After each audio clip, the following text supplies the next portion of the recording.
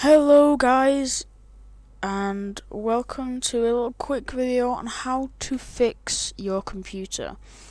Um pretty much. Basically, um if you I don't know, had some glitch on your computer where all icons seem the same, I'll put a picture up now.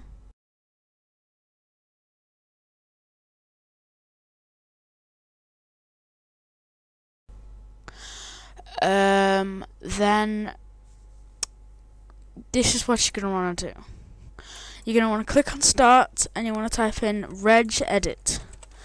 REG and then edit, okay? And then I'll ask you for permission. Click on yes. So here it is. I am recording from my second monitor, so everything that happens like will be on there. But I'm gonna pull this over.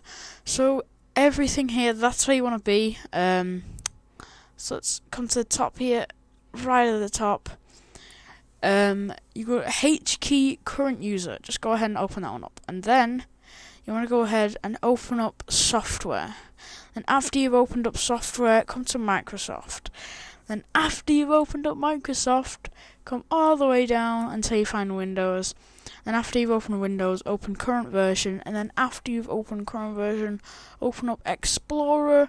Then after you've opened up Explorer, go ahead and open up file exts.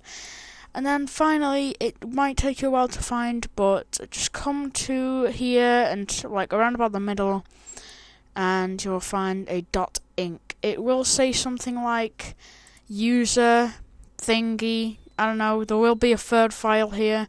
All I want you to do is delete that file. Don't delete these two. These two. Just delete the one file then close this off and go ahead and restart your computer. Don't forget to subscribe, and that should fix everything. Um, so I will see you guys in the next one.